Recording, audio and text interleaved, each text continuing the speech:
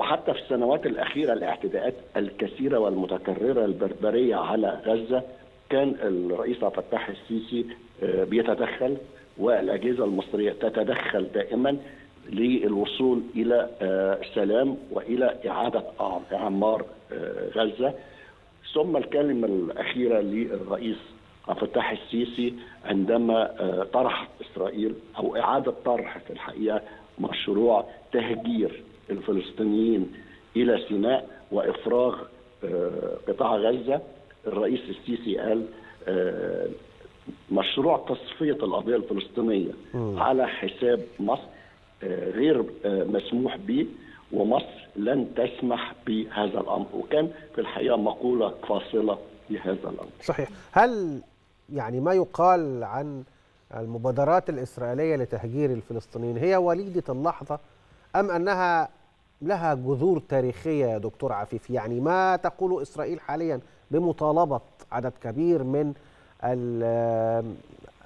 التيارات الإسرائيلية المتباينة بضرورة تهجير أهالي غزة داخل سيناء.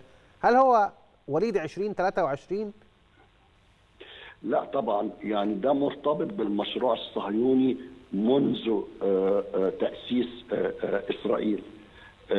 بدأ حتى بفكرة تهجير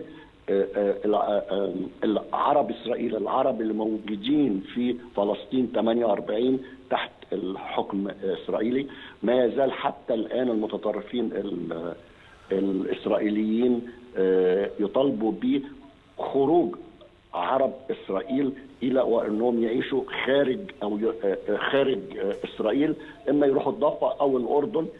ثم المشروع الإسرائيلي انطرح أكثر من مرة وانطرح حتى على الرئيس الأسبق حسني مبارك بتهجير فلسطينيين قطاع غزة إلى سيناء وعمل تبادل وكان نتنياهو ساعتها تحديدا اللي عرضه كمان بالظبط بالظبط وعمل تبادل أراضي وكأن يعني بيدهم تغيير خرائط العالم وكأن مصر دولة ليست لها سيادة.